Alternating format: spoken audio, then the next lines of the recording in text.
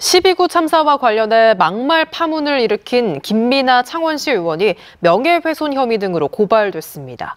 김 의원의 사퇴를 촉구하는 움직임도 확산되고 있는데요. 그런데 김 의원의 이런 사실 확인 없는 편향 발언은 이번이 처음이 아닙니다. 장영 기자입니다. 네네. 제가 공인인 줄을 깜빡했네요. 정의당은 김 의원이 사과 입장을 밝힌 직후 공인임을 깜빡했다는 발언을 문제 삼았습니다. 책임이란 자꾸 깜빡하시는 공직자로서의 신분을 내려놓는 것이라고도 꼬집었습니다. 정의당은 유족에 대한 명예훼손과 모욕 혐의로 김 의원을 경남경찰청에 고발했습니다. 이 같은 일이 재발되지 않도록 책임을 철저히 물으면서 어, 엄중한 수사와 처벌을 촉구하는 고발장을 제출함을 창원시 의회 사과에도 불구하고 표현에 좀 강한 부분에 대해서는 정말 또 잘못됐다는 점을 사과를 드리겠습니다.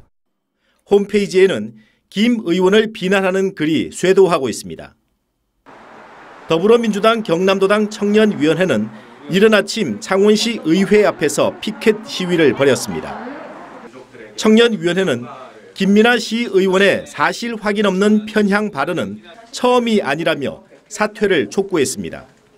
단순히 사과로만 끝날 게 아니라 뭔가 책임지는 그런 행동과 결단이 좀 있어야 창원 시민들에게 대한 예의고 많은 유가족분들한테도 예의가 아닌가 이렇게 생각합니다.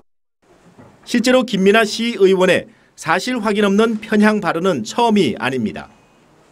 지난 9월 창원시 의회 행정사무감사에서 나온 공산당 책 발언입니다. 공산당이 싫어요 하는 그런 동상이 있는 학교에서 우리가 공부를 했습니다. 그런데 공산당 책은 차고 넘치더라고요.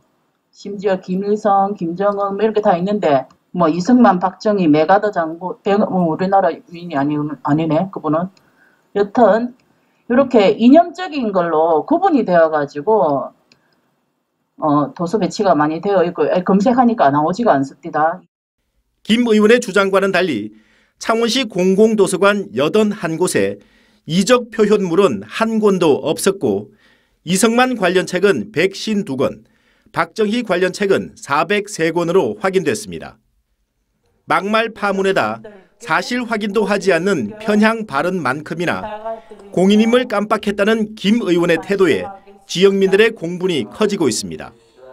MBC 뉴스 장영입니다.